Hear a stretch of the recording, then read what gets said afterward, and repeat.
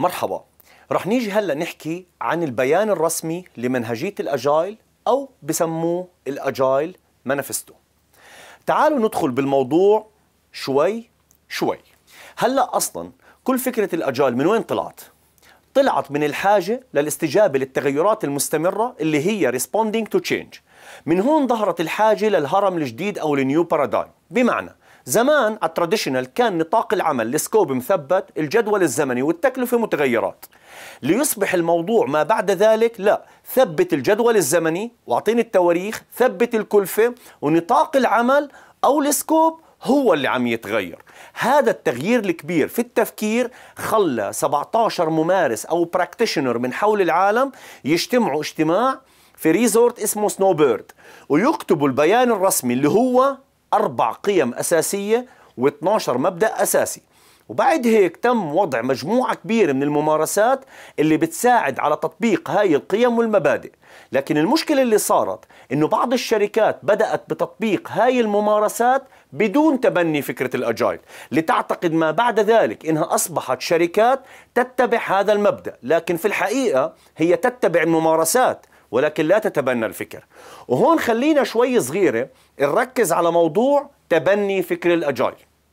لتوضيح الفرق بين إنك تكون فعلا أجايل وبين فقط تطبق ممارسات الأجايل لازم تعرف إنه فقط تطبيق ممارسات الأجايل معناتها إني أنا بطبق هاي الممارسات من دون ما أقتنع أو أفهم أو أتبنى القيم والمبادئ اللي وراء هاي الممارسات.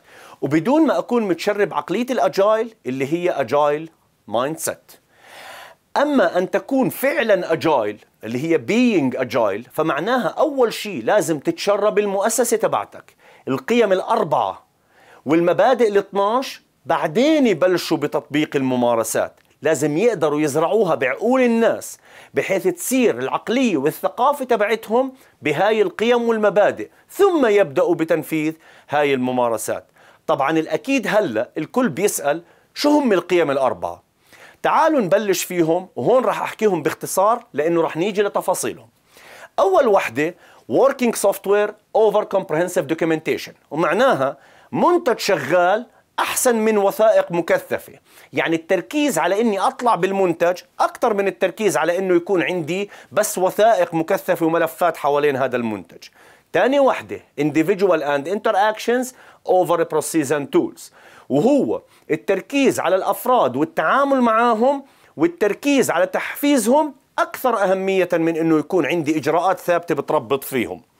القيم الثالثة customer collaboration over contract negotiation يعني التعاون والتفاهم مع العميل كثير أولى من إني أنا أرجع للعقد عند كل طلب. بمعنى آخر لازم دايما أتفاهم أنا والعميل على اللي بده إياه وهذا الشيء أفضل من إني لما بدي أحكي أنا والعميل بأي شيء أرجع للعقد اللي بينه وبينه وما أرضى أسوي إلا اللي مكتوب جواته.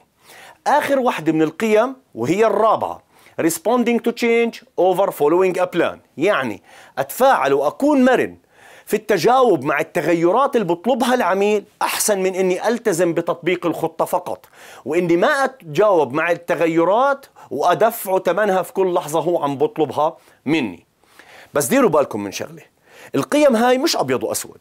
يعني مو يا إما منتج شغال يا إما توثيق مكثف. أنا بحكي اليوم التركيز على منتج يشتغل أكثر من التركيز على إنك تعطيني وثائق ومحبكة.